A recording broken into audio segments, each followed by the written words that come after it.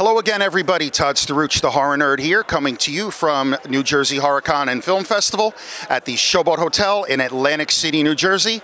I have the honor of sitting here next to the voice of Oogie Boogie himself, Mr. Ken Page. Ken, how are you? I'm well, thank you. Good to see you. Good to see you too. How's the convention been for you so far? It's been great. I mean, you know, Friday's the first night and everybody has to get off from work and blah, blah, blah. But it's been really terrific. I can't complain.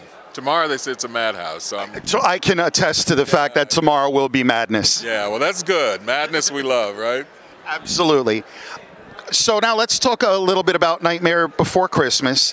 When you did the voiceover for it, did you have any idea in your head that it might take on the cult following that it has today? Not at all. Not at all. I mean, you know, there was a delay, if you will. We did the movie. It, took two years to finish it. It came out. It did well, but it didn't do fantastically.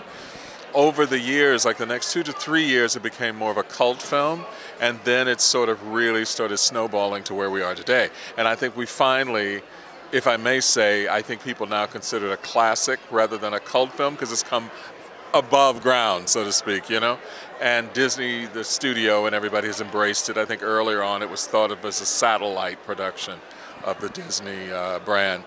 But now it's amazing, and genera- how many three generations now have grown up with it? So, And I can vouch for that. My 14 year old daughter recently said to me, Dad, have you ever heard of this movie, The Nightmare Before Christmas? I'm like, heard of it. I'm like, are you serious? yeah, yeah, yeah. So you're right.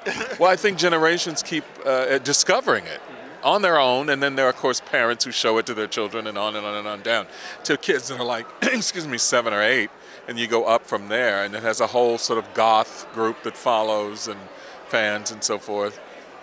Absolutely. Um, so I, I know that you do a fair number of the conventions. Um, what is it about uh, coming out to these conventions that keeps you literally coming out and continuing to do it? Well, I like meeting the people because for me, I'm a voice in a film. So if they don't meet me, they don't know the face, you know. So, uh, but I, for myself, I enjoy it because you get to interact with people, and people tell you how they've enjoyed it or how they came to it or what it means to them, and that's uh, something you take away with you, not just what you come to give them. You also take that away with you. So it's it's really always wonderful. Fantastic. I know it's a thrill always for me, like the fact that I get to do this and talk to people that I've watched or heard or listened to or whatever. I might say also when I'm at these things, I get to see people that I've admired, you know, and, and films that I'm a fan of and so forth. So it's all it's an all around good time, you know.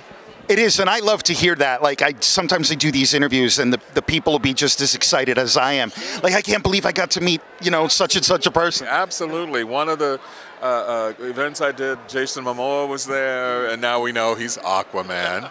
Uh, uh, of course, there's Zach Galligan, who's right next to me over there, who's great. A lot of people, a lot of people I've met at these that are just terrific. Yeah, it is a fun time. Um, so one of your other credits is Cats, and just share with us any particular memory or experience you have from that. Memory, was that a cue for the. You know what? that was inadvertent, folks. I swear it was. Uh, yeah, sure. No, uh, well, you know, the fact I was fortunate enough to be in the original Broadway company, which was an amazing experience.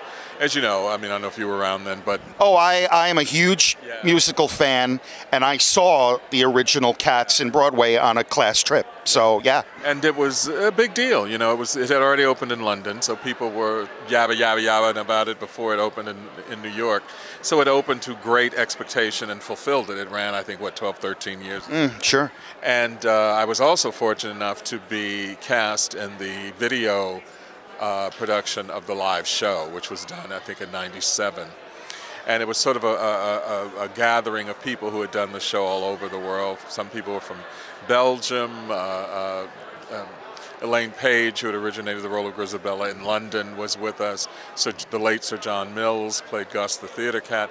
So it was another all you know another completely different and wonderful experience with the show, and that until recently will be the only uh, uh, production that is constant because it's on film.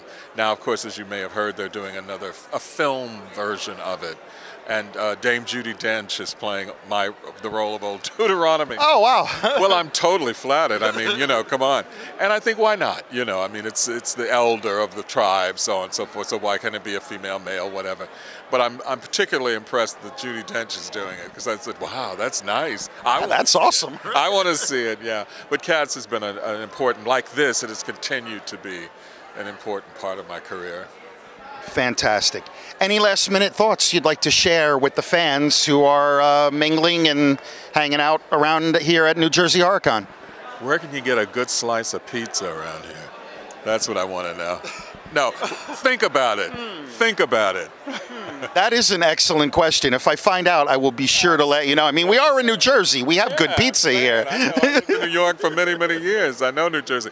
And we've got two more days, so you have time to let me know. I certainly will.